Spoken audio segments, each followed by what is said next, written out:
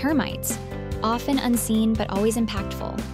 Step into the realm of termites with us as we explore the intricate lives of these extraordinary insects and their impact on our environment. Termites are social insects living in colonies that can number in the millions. They're found on every continent except Antarctica and play a crucial role in decomposing dead plant material, contributing to nutrient cycling in ecosystems. Termites undergo incomplete metamorphosis, starting as eggs, then developing into nymphs, and finally maturing into adults. Within a colony, there are different castes workers, soldiers, and reproductive termites, each with a specific role. Contrary to popular belief, not all termites eat wood.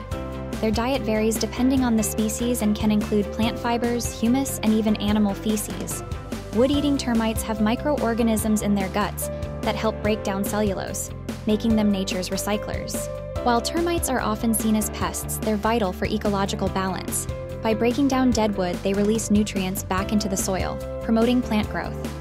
However, when they invade human structures, they can cause significant damage. Termites are more than just wood destroyers, they're an essential part of our ecosystem.